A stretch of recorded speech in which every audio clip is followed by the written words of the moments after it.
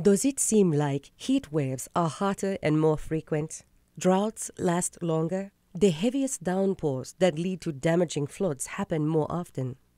That's because in parts of the world, some kinds of extreme weather events have become more frequent and intense. Scientists say this increase is due to human caused climate change, caused primarily from the burning of fossil fuels like coal, gas, and oil. At the same time, exposure to climate related hazards is increasing as more people and more assets are located in coastal areas, floodplains, heavily populated cities, and informal settlements, all places particularly affected by weather extremes like floods and intense heat. Marginalized groups such as women, children, and the elderly, people with disabilities, indigenous people, and ethnic minorities are often the most vulnerable to these events. Extreme weather can have catastrophic consequences, including crop failure, infrastructure damage, displacement, spread of disease, poor health, even death. What if we could better prepare for these hazards by understanding the changing risk of extreme weather events? Now that's possible. Due to recent advancements in science and technology, scientists can look for signs that climate change has contributed toward extreme weather events and can use this information to understand if climate change is making these extreme weather events more or less likely to occur, or more intense than they would have been otherwise. This is called attribution science. This science uses observations of what has happened in reality to understand the historical context of an extreme weather event and simulates possible events with computer models, with and without climate change, to see if the observed event was made more likely or more intense with climate change.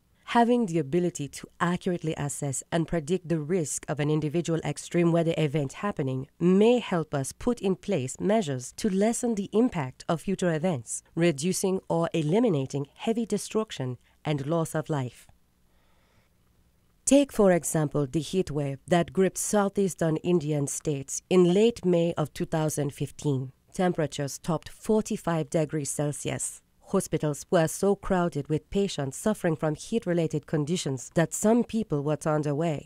It's estimated the heat resulted in 2,500 deaths.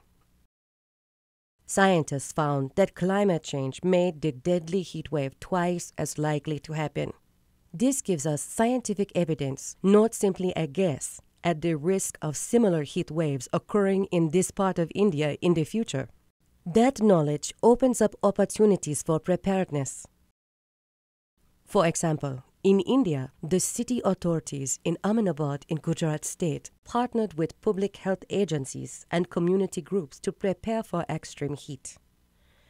Informed by climate science, the partnership developed a heat action plan detailing an early warning and response system the Heat Action Plan, launched in 2013 and is helping to reduce heat related deaths in the city.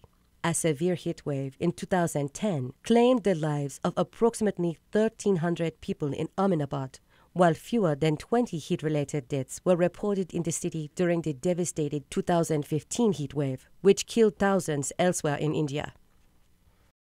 Heat waves are the type of extreme weather where it is common to find climate change played an important role. For other extreme weather events, like droughts, the influence is generally subtler, making them trickier to analyze. In particular, even though we expect the risk of heat waves and downpours to increase globally, locally other factors, including changes in weather patterns, might act against the expected trends. But having scientific knowledge of the changing nature of the risks of individual extreme weather events helps us put in place plans to keep more people, more places, more often out of harm's way.